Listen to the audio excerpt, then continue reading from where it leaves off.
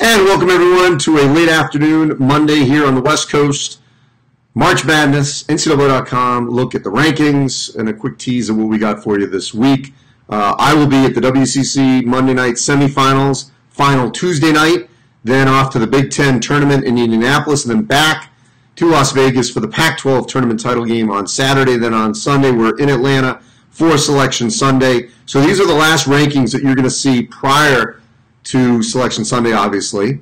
Um, the difference here, the AP poll and Power 36, and I want to direct everyone's attention, obviously, to our last bracket prior to Selection Sunday. We will have one on Selection Sunday morning, um, so that you certainly can, you know, take a look at that as well. Um, so the, the, the main difference here, though, that um, you know I want to show here is in the Power 36 and AP poll. Um, you know, Diego State, maybe I was too harsh on them, but I had them, uh, you know, at 11 in the Power 36.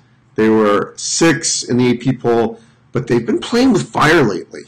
And, you know, they lost um, to Utah State, lost to UNLV the week before.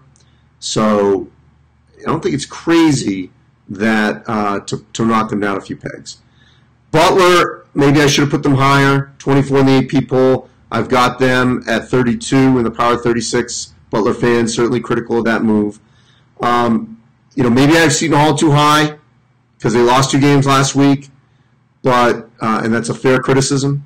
So upon further review, maybe I should have been where AP has them in the teens in terms of how they're playing well. The rest of them I feel pretty good about. Kansas, Gonzaga, Dayton, Kentucky, Florida State, Baylor, Creighton, Maryland, Michigan State, the Aztecs, Oregon, Villanova, Wisconsin, you know, Louisville, Duke, BYU. See them tonight, Monday night, uh, and uh, we'll see if I see them Tuesday as well. You know, Rutgers had a great week. Our team of the week. Uh, Utah State back in here with Sam Merrill. What if he was our player of the week? What a week he had in, in getting the uh, Aggies to the uh, AQ and win of the Mountain West Conference. So phenomenal job there. Um, you know, the key thing here, and I know I take a lot of flack for this, but I'm not the only one. Key thing is that the rankings are a snapshot and how our teams are playing.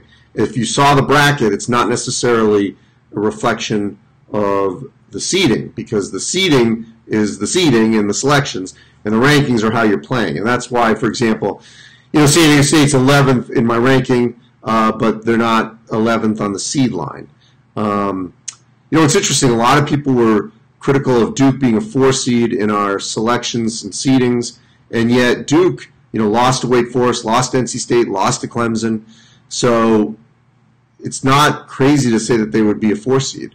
The other thing I just want to point out, and I said this on Twitter on Monday afternoon, you know, we our Midwest bracket was kind of stacked, and you know that can happen because, and I know a lot of people don't believe this, there's a lot of conspiracy theorists out there, but they don't look at brand names. Now, they do try to balance the bracket, but it's balancing on the seed lines on, you know, okay, we want to make sure we've got, you know, the right, you know, groupings here with the twos across the board, the threes and the fours and the ones, and so on.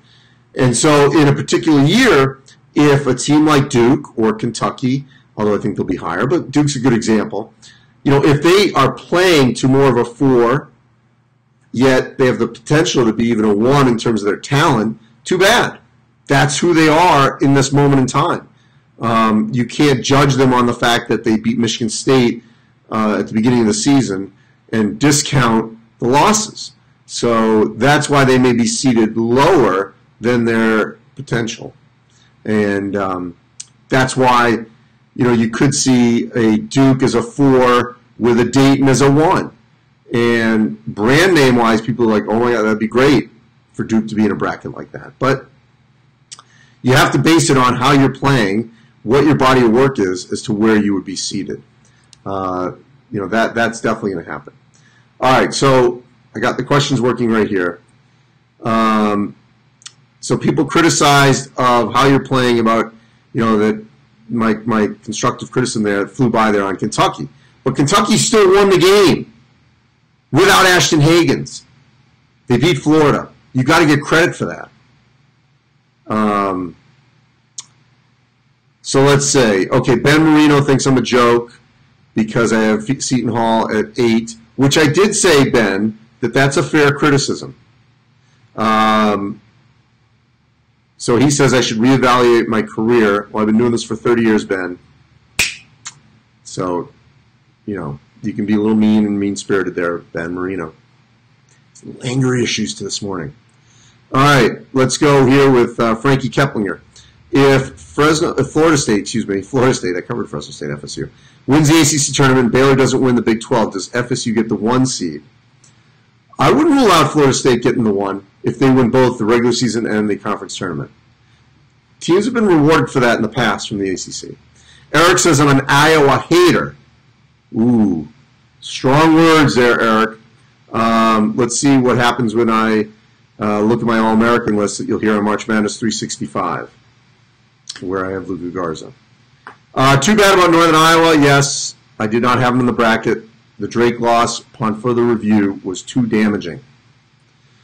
Um, Marcus Perez, what are my thoughts on Texas Tech? I had them in the uh, first four in Dayton. So, is Wisconsin for real? Asks Douglas. Well, Douglas, if they make shots, make threes, double figure threes, yes, they are. Um, can Providence get higher than a seven, John? Yes, they can. What if they win the Big East tournament? All right.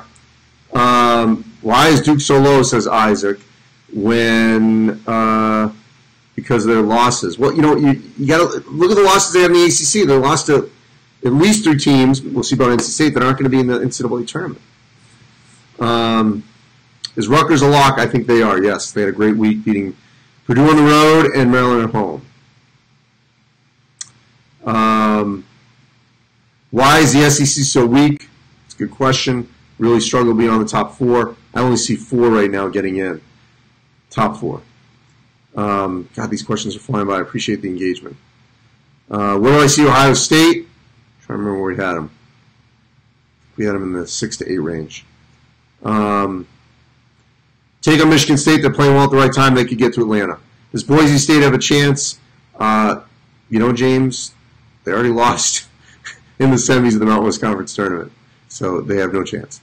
Um, my Final Four, everyone wants a Final Four without seeing the bracket. I feel good about Kansas. What did I just almost say? Gonzanzas. Kansas, Gonzaga. Um, I like an offensive team, whether that's Creighton or BYU. I could see one of them getting there. I, I think a Big Ten's getting there, whether that's Maryland, Michigan State, or Illinois. One of them's getting there. Feel it. Um, I don't know. I gotta I gotta go see the bracket. We're so close. I might as well see the bracket. Um, thoughts on Baylor? They're trending in the wrong direction right now. They got to get their act together in the Big 12 tournament. How much do quadrant wins affect seeding? A ton. Robert Bradshaw, Seton Hall or Creighton will get to the Final Four. I could definitely see that. Where's New Mexico State 19 in a row? Yeah, I could have put them in. Fair, fair statement. Definitely playing well. And no one's going to want to play them. They, they really should have beaten Auburn last season. No question they should have beaten Auburn last season. Um, all right, let's take two more. Sorry, this has been choppy Wi-Fi where I am. Um, let's see here. Do I think Kentucky has locked in a two? No, they could get still a little higher. Maybe. Depends what happens above them. Um, where's Michigan? Oh, Michigan fell out, uh, but not in my. They fell out of my rankings. Uh, you know, Nebraska losing to Maryland. Maybe that wasn't fair, but um, they're still seated very well, and I think they'll be fine. Um, let's see. John thinks West Virginia is going to win the Big 12 championship. Who's going to win the SEC tournament? Um, I got Kentucky, but you'll see all my predictions on March Madness 365. All right. I have to get to the WCC tournament here. Um, appreciate your engagement. Check out our bracket. Check out March Madness 365. Joe Lunardi, Dan Dakich, Obi Toppin. My predictions for this week in the conference tournaments. You can send some mean tweets Come at me. It's all right. I can take it. Uh, but I love the passion and the engagement. All right. Enjoy Champ Week. Stay safe, everyone out there. Wash your hands.